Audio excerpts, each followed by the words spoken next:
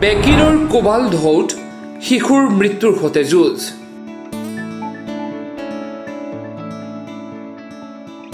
ঢৌত উটি ভাসি নদীত ধৰিছে উটি অহা কাঠ।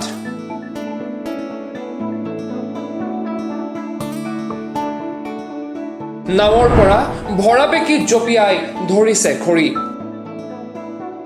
ভাহি অহা কাঠ ধৰি ভোগ নিবাৰণৰ চেষ্টা। বছৰ বছৰ ধৰি চলি আহিছে এই অভিযান। ভূটান পাহাৰৰ পৰা নামি অহা বেকী নদীৰ কোবাল সোঁতত দৈৰ্ঘতে লৰা ধেমালি কৰি লৰালিৰে পৰা বছৰ বছৰ ধৰি চলি আহিছে সাহসিকতাৰ এই যাত্ৰা।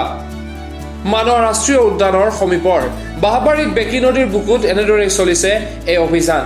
এনেদৰে কণ কণ লৰাই জাক পাতি আৰু আনফালে নাওলৈ এচাম বেকীৰ কোবাল সোঁতৰ সৈতে খেলা কৰি এনেদৰে ৰৈ থাকে। ভূটানৰ দিশৰ পৰা বেকী নদীৰ ভয়াৱহ সোঁতত কেতিয়াবাৰো খহনীয়াৰ পৰিণতিত ভাহি আহিব ডাঙৰ অথবা সৰু কাঠৰ টুকুৰা।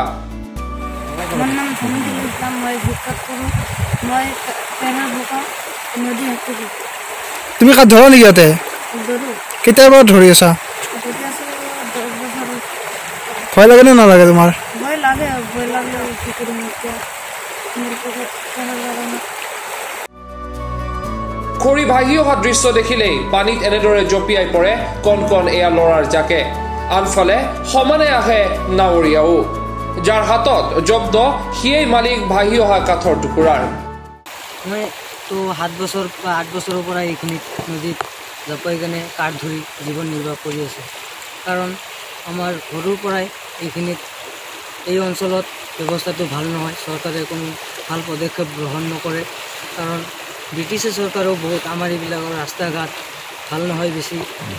আমাৰ মানে জীৱনটো নিৰ্বাহ কৰিব লাগে। সেইকাৰণে এইবিলাক ডেমৰ পৰা কাঠ ভাহি অহা কাঠবিলাক ধৰি কেনে আমি জীৱন নিৰ্বাহটো চলাই আছোঁ এওঁলোকে পেটৰ তৰণাত যি জীৱন নিৰ্বাহ কৰি আছে এনেকৈ এ, বিপদসংকুল যাত্ৰা কৰি পেলাই। গতিকে তেখেতসকলৰ ক্ষেত্ৰত চৰকাৰে ব্যৱস্থা গ্ৰহণ কৰক।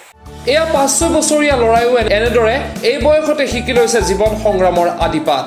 বছৰ বছৰ ধৰি এনেদৰেই এই অঞ্চলৰ পৰিয়ালবোৰে বিচাৰি পাইছে জীৱিকাৰ সন্ধান।